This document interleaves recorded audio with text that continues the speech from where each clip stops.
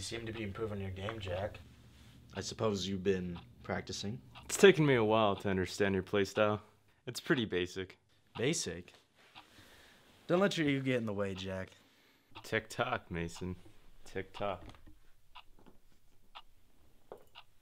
Word of advice, Jack. Preparation is always the key to victory.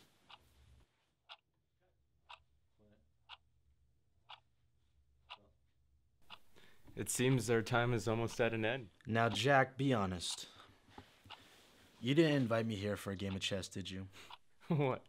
Can't a guy have a friend over for a simple game of chess? Sure, but you just haven't had me over in a while.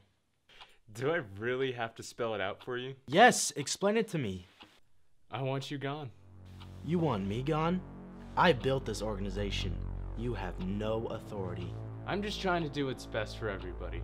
I see how you treat the others, and you're nothing but a tyrant. A tyrant? That's the thanks I get for giving you a job, for giving you a life, for giving you a purpose? That's a ballsy thing to say, my friend.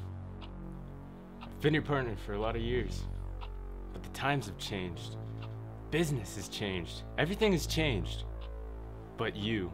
And for all I've done for you, Jack, everything, you owe me big time. See, that's where you're wrong, Mason. I don't owe you anything. If it wasn't for me, this corrupt organization wouldn't even be able to run. What disrespect! Get in your car, leave town, don't come back. I've already had to bury enough friends. Don't make me bury one more. You're making a huge mistake. There's the front door. Get out. No, you leave, Jack. This is my organization, not yours. Mason, I have but one word for you.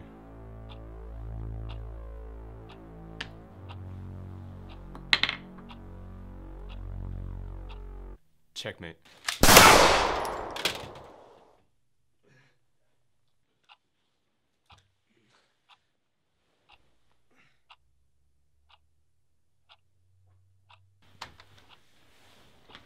You should have took my advice, Jack. Preparation preparation is the key to victory.